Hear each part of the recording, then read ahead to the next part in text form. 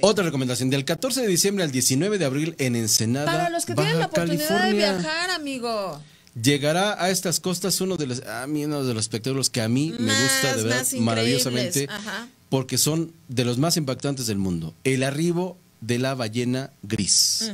El mamífero más grande del mundo, anualmente más de 20 mil ballenas, visitan las costas de Baja California en su migración desde Alaska hasta el sur de la península para continuar con su ciclo de reproducción, siendo uno de los mamíferos que realiza la migración más larga del planeta y al cual le gusta convivir con la gente. Nos hemos visto ahí las fotos. cómo Está se increíble. acercan. Para Es los que tienen la oportunidad, vayan a ver este espectáculo y los que y los que viajan por allá, Allá no se lo Guerrero Negro, pierdan. no se lo Negro, pierdan, California está Sur. fabuloso.